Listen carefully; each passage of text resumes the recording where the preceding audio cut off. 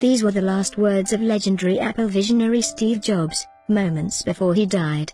I have come to the pinnacle of success in business. In the eyes of others, my life has been the symbol of success. However, apart from work, I have little joy. Finally, my wealth is simply a fact to which I am accustomed. At this time, lying on the hospital bed and remembering all my life, I realize that all the accolades and riches of which I was once so proud, have become insignificant, with my imminent death.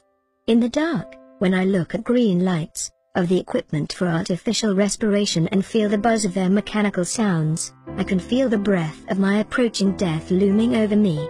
Only now do I understand that once you accumulate enough money for the rest of your life, you have to pursue objectives that are not related to wealth. It should be something more important, for example, stories of love, art, dreams of my childhood. No, stop pursuing wealth, it can only make a person into a twisted being, just like me. God has made us one way, we can feel the love in the heart of each of us, and not illusions built by fame or money, like I made in my life, I cannot take them with me, I can only take with me the memories that were strengthened by love. This is the true wealth that will follow you, will accompany you, he will give strength and light to go ahead. Love can travel thousands of miles and so life has no limits. Move to where you want to go. Strive to reach the goals you want to achieve. Everything is in your heart and in your hands. What is the world's most expensive bed? The hospital bed.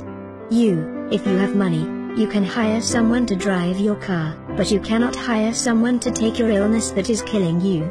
Material things lost can be found. But one thing you can never find once you have lost it, is life. Whatever stage of life where we are right now, at the end we will have to face the day when the curtain falls. Please treasure your family love, love for your spouse, love for your friends. Treat everyone well and stay friendly with your neighbors.